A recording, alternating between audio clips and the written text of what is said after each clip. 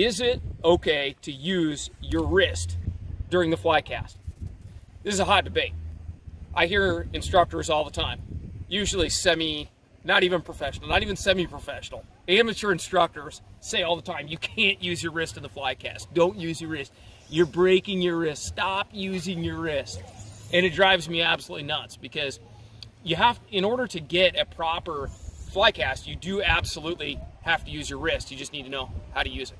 Okay, so I'm just going to throw a couple of casts. I'm going to teach you something here. Guess what? The fly doesn't care how you hold the rod. I, I'll show you a bunch of cool stuff. All that matters is what the rod tip does. You can hold, I don't even have to have a handle on the dang thing. All that matters is what the rod tip does. Your wrist is much less relevant. The wrist can be your best friend or your worst enemy in the cast. But I can grab the rod with two hands and cast it like a left-handed baseball player. I can wind up and I can throw a heck of a fly cast in a pretty unconventional fashion like that right there. I can actually cast really well and I'm probably breaking my wrist. I can hold the rod like this doesn't matter. I've practiced just in case I lose a couple of fingers running the table saw.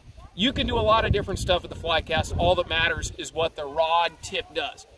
That's the fly's only communication to you is with that rod tip. And what we want to do is we want to send that fly right where we want it to go every time. Let me show you how not to use your wrist in a fly cast.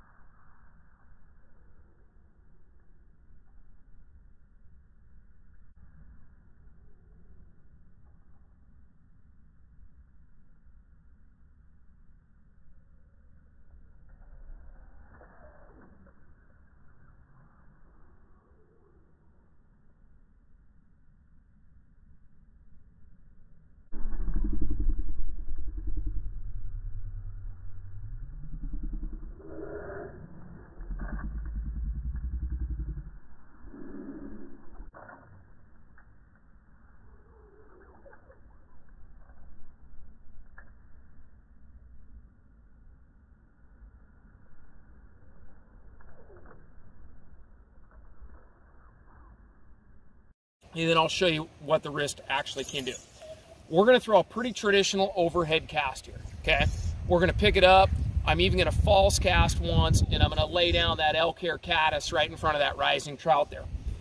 The wrist can be your worst enemy if you do this. And most people who have that, that bad habit of using their wrist at the wrong time is their wrist initiates the cast and they get this pivot point out in here. And what you just told that fly to do by initiating the cast with your wrist is you told that fly to go straight in the air. And what I need to do is I need my back cast to get sent back behind me just as far as my forward cast. And we can't initiate that cast with the wrist. The wrist should never bend when it's out in front of you. We bend at our elbow, then we, you notice I haven't broke my wrist, then I drive back and my wrist is gonna be used at the back end of my cast and it will actually, when I begin to go forward, I'm gonna start with my wrist and that's gonna tighten up a little bit of slack and then I'm gonna drive with my elbow and my shoulder. So yes. Oh, it's windy, holy smokes, where did that gust come from? Uh, but you absolutely, in a traditional overhand trout cast, you should be using your wrist. You need to be disciplined. You need to use it at the right time. But to say you don't use your wrist in the fly cast is just a gross misstatement. You need to know how and when. Don't initiate with the wrist. Use your wrist at that back end. It is very helpful for making your cast nice and smooth and effortless and drawing that slack tight right at the beginning of your forward cast. Learn to use your wrist properly. You're going to get a lot better casts. And for those of you that are nagging your loved ones, telling them to quit using your wrist, stop that.